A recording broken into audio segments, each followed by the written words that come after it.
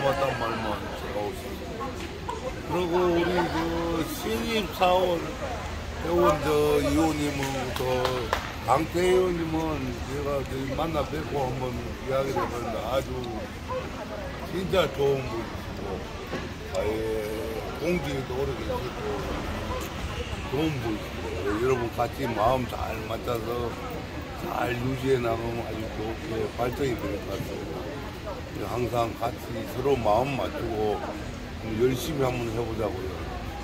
우리 사랑과 비전에 오늘 뭐안온 분도 계시는데 어, 좀 될수있으면 저는 100% 참석하는 걸로 그래서 별걸 하지 마시고 서로 얼굴 맞대고 이야기도 해보고 이렇게 뭐 서로가 우리 위원님들 다 뭐 안 좋은 일 있으면 서로 뭐를 맞대고 풀어나가는 그런 사랑과 비전에 꼭 그런 게 됐으면 좋겠습니다. 어, 진짜 사랑과 비전에 여러분 전부 사랑합니다.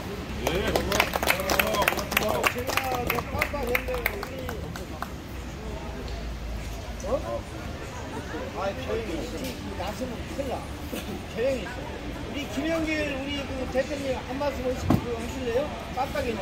아니 아니요 아이고 안 해도 됩니다 그래, 며칠도 오세요.